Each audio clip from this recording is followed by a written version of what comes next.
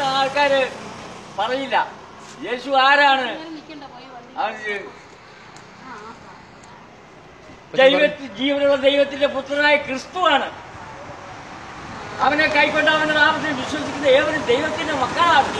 ബാഹ്യ ബാക്കിയുള്ളതെല്ലാം ലോകമക്കൾ സമുദായ മക്കൾ രാഷ്ട്രീയ മക്കൾ മതമക്കളൊക്കെയാണ്.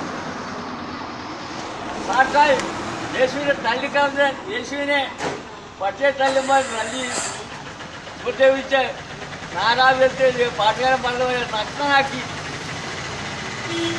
ഇരിക്കുക. അപ്പോൾ യേശുവിനെ മടക്കം പെട്ടെന്ന് സ്വീകരിച്ച് എന്നാ പാവം നോക്കി അവൻ കൊള്ളാവുന്നവരായിട്ട് ദൈവത്തിന് കൊള്ളാവുന്നവരായിത്തീരണം അല്ലെങ്കിൽ തീയും കണ്ടും കത്തുന്ന തീപ്പൊയിലേക്ക് പോയി. എത്ര ഉന്നതനാണെന്ന് പറഞ്ഞിട്ട് കാര്യമില്ല. തീപ്പൊയിലേക്ക് പോകാൻ പോകാൻ വേറെ മാർഗങ്ങളൊന്നുമില്ല. യേശുവിനെ സ്വീകരിക്കാകിയാൽ മാത്രം മതി.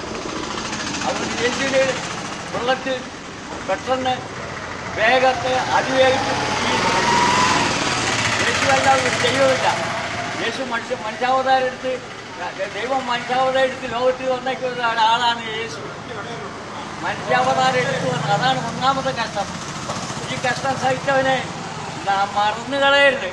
മറന്നു കളഞ്ഞാൽ അവൻ വിടിയല അവിടേക്ക് അവനെ ആരാന്നറിയാമോ ഒടുവിൽ അവന്റെ രാജ്യത്തിലൊരു അവനെ അവന് വിളക്ക് വിളക്ക് വേണ്ട. അവൻ അവൻ പ്രകാശമാണ്. അവൻ വിളക്കാണ് വെളിച്ചമാണ് അന്ധകാരം മാറ്റുന്നതാണ്. ഒരു ശക്തി ഉണ്ടെങ്കിൽ യേശു അല്ലാതെ വേറെയില്ല. യേശുവിനെ പോലെ ഒരുവരെ കാണാനില്ല. അവന്റെ ശബ്ദം. അവൻ സംസാരിക്കുമ്പോൾ സംസാരിച്ച് വേറെ ഒട്ടും ലോകത്തേക്ക് വന്നിട്ടില്ല. ദാസരേ പുറത്തു വരിക എന്നുള്ളത് നാട്ടം വെച്ച് നാല് പേരെ വെച്ച് കല്ലറയിൽ കിടന്ന പുറത്തു വന്ന ഇവൻ ദൈവമാണോ? അല്ലയോ.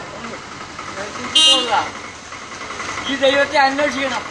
ദൈവത്തെ അന്വേഷിക്കുന്നവൻ ബുദ്ധിമാനാ. അല്ലാത്തവരൊക്കെ ബുദ്ധിയില്ലാത്തവരാ.